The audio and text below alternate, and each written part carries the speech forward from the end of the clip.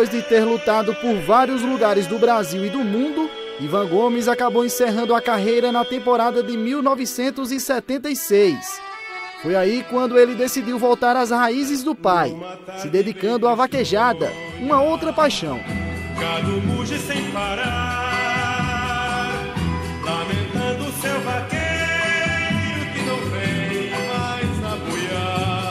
numa, numa fazenda, derrubando boi, aquela história. Então isso marcou muito a infância e o seu gosto. Então eu gostava muito de cantoria, gostava muito de cavalo. Uma vez ele comprou um, um, um, um cavalo tão caro quando ele chegou de viagem, foi na fazenda de um amigo e comprou um cavalo muito caro. E quando me disse o preço do cavalo, que eu vi que era o preço de uma casa, eu disse, isso não é um cavalo, é um colosso. E ele disse, pois é o nome do cavalo, que o cavalo está sem nome, vou botar este nome. E o cavalo se chamou Colosso até um dia que, lamentavelmente, o, o cavalo numa corrida quebrou a perna e ele teve que sacrificar, não é? A professora Cléa Cordeiro conviveu com Ivan Gomes durante 25 anos e lembra como ninguém a personalidade dele fora dos ringues. Se dava bem com todo mundo, brincava com criança. Eu digo que Ivan se dava bem com criança de 3 anos, a, pessoa, a criança de 80 porque na academia ele tinha todo tipo, todas as idades, e ele era um ídolo para todos eles. Né? Ele participou de um aniversário de um sobrinho meu em um colégio, e foi a festa, foi a atração da festa, né? E levantando todas as crianças, chamava todo mundo de meu campeão, e a gurizada chegava, imitava seu gesto, desafiava ele para lutar, ele fingia que aceitava. Então era uma pessoa assim, incrível. Né? Eu estou resgatando como eu disse, é, todas as palavras é, com que Ivan era classificado, né? E são inúmeras, todas nessa, nessa linha que eu citei agora.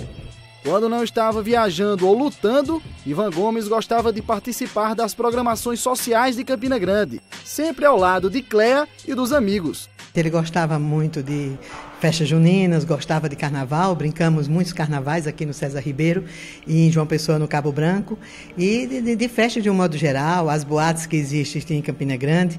Então, Ivan era realmente muito alegre, muito divertido e era uma pessoa assim, muito alta astral. Então, dava gosto estar com ele e ele tinha hora para começar e, sinceramente, não tinha hora para terminar.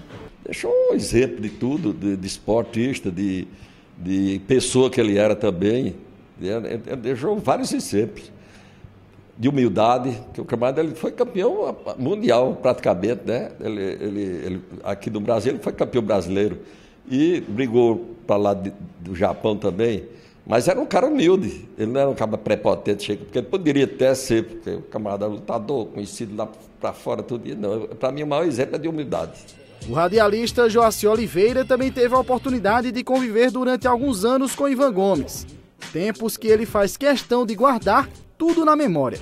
A recordação principal é de, de que Ivan era um cara que gostava de viver, era um, um cara alegre, brincalhão, gostava de dançar forró, de ouvir música de forró, ouvia meu programa de forró todos os dias, é, aí participava das vaquejadas, ia lá na rádio para anunciar as vaquejadas e, e fazer aquele apelo.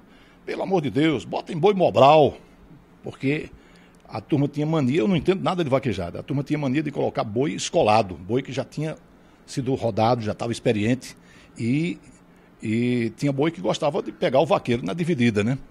Aí ele tem que botar boi mobral e coisa e tal. Aí fazia aqueles anúncios, às vezes fazia uns apelos para o pessoal é, é, é, dar mais valor à prata da casa e tudo mais. Mas era isso que, que me sintonizava com ele. Ele gostava muito de, de, de festa, de, aí convidava para, vamos tomar uma cerveja, vamos tomar um aperitivo, coisa e tal. Eu saía para beber com ele muitas vezes, foram muitas, eh, não diria, algumas dezenas de vezes, né? Algumas dezenas de vezes. E esse jeito dele bom, doce, isso chamava atenção. Onde ele estivesse, a alegria estava. Mas apesar de toda a valentia nos ringues, fora deles, Ivan também tinha suas fraquezas. E por incrível que pareça, morria de medo de assombração.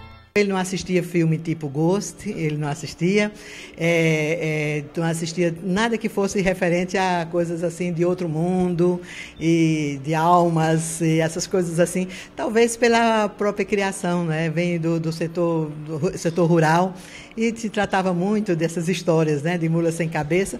Talvez ele guardasse um pouco dessa história. Só sei que ele não gostava mesmo. E certa vez fomos assistir um filme nos domingos nós começamos, gostávamos de assistir filmes. É, Cine Babilônia, Capitólio, e ele não sabia qual era o filme, e tinha sido escolhido por mim quando ele soube que era eh, o Exorcista, então tivemos que mudar. Saímos do Capitólio diretamente para o Babilônia na época, porque ele realmente não gostava, era muito engraçado.